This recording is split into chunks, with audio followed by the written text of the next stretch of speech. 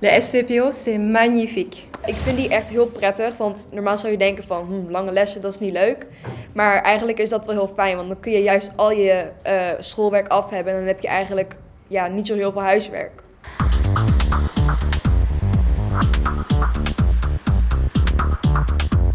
Hi, ik ben Demi en dit is mijn school.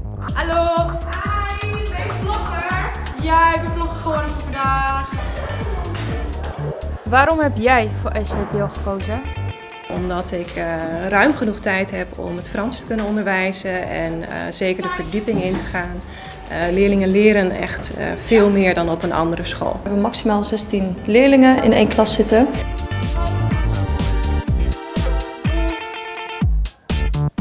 Gewoon altijd heel gezellig met de kleine klas. Dan maak je heel snel vrienden en ja, het is best fijn dat je een dag gewoon helemaal vrij bent. Ik vind het fijn dat we langere dagen hebben en een gepast rooster, wat ervoor zorgt dat wij vrijdagen vrij hebben en maar één keer sporten in de maand. Verschillende vakken, maar uh, maximaal vijf op een dag. En de les zijn 85 minuten. De leerlingen volgen wiskunde, Nederlands, uh, tekenen, biologie.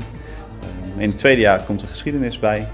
Tijdens die les van 85 minuten wordt er heel veel gedaan. Leerlingen maken ook het huiswerk op school, waardoor ze thuis weinig tot niets hoeven te doen. Toppie! Vier dagen les zijn ook echt van 10 voor 9 tot 5 uur.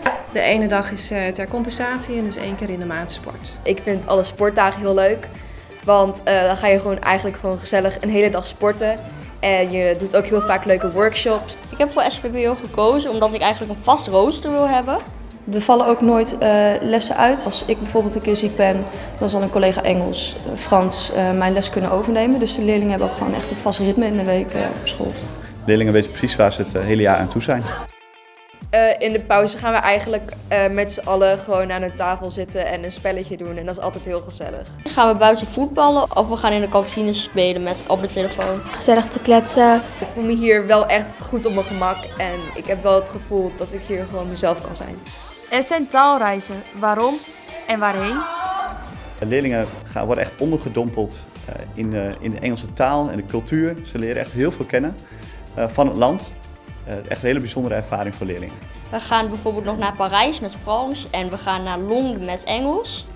En eigenlijk ga je met je keuzevak, dat je uiteindelijk kiest, ga je ook nog naar een land toe. Dan kun je of naar, of, of naar Berlijn ga je of naar Valencia. Genoeg taalreizen en uh, genoeg uh, aanbod om echte taal in de praktijk te gebruiken. Ik hoop dat jullie het leuk vonden. Tot volgend schooljaar!